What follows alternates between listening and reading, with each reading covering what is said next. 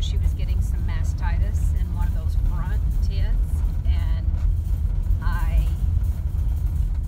thought I need to give you some antibiotics, and I ended up going back to bed and not giving her any antibiotics. And this morning she is fully blown into mastitis, and I think she's got milk fever. So I was trying to give her some oral stuff, but it, she was so she felt so bad. She's trying to vomit, so I'm rushing her to the vet.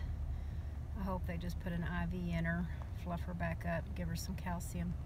It's really about the best way to give calcium is through an IV. I mean, if you're stable, you can ingest it. Um, I mean, she was so sick that she was um, shaking. She was shaking this morning. So she's in the back, and we're rushing to our local vet, hope can get me in. Sometimes he's so busy, he's not very good about getting me in. That's why I don't use him. I mean, he's a wonderful vet, he's, and I use him for the horses all the time. And Tim uses him for the cattle, and I've used him before. He's a very intelligent man, and he's a good, he's, he's a great guy. I just don't like waiting two hours. I don't have two hours to wait. When I have an appointment, I want to see. Um, anyway. Anyway, my other vets, when you spend twenty thousand dollars a year with somebody, when they when you pull in, they're like, "We're so happy to see you. We're so glad you're here." And not that I demand special treatment, but I do uh, appreciate my vets uh, working with me on a lot of things and being there for me in the middle of the night when I need them. So we're just rushing up here to Dr. Chris and see if what he thinks, if this is milk fever or just mastitis. Doesn't matter. I don't have any Baytril. If I'd had Baytril, I'd given her a shot. Some super duper, super duper strong. It's about the strongest antibiotic you want to give a shot with.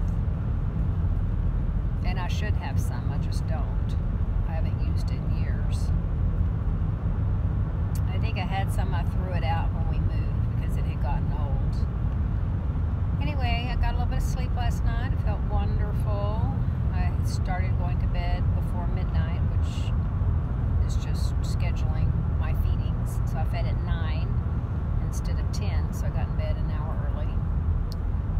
And everyone else is doing good. I could tell she, Koboodle, had a bit of mastitis though because when the puppies suck it, the milk actually has infection in it and it gives the babies a bellyache. But the only way to get it out is to let the puppies nurse it out. So you just have to move the puppies around and make sure the same puppy isn't always nursing on that tid. And it's not generalized, like she has eight good teats and it's only in the front one. And when they start getting mastitis, a lot of times the puppies don't want to suck.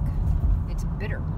And so they don't want to suck it. And so I'll sit in there with her and put super duper hot wash rags on that tid and massage it when her milk drops, trying to just get it all, get it out. And, you know, in a day, probably in 24 hours, it'll be way better. In 48 hours, it'll probably be gone. But if you don't address it, you can actually rupture the mammary gland and, you know, that's the way infection does. It just builds and builds until it ruptures the tissue.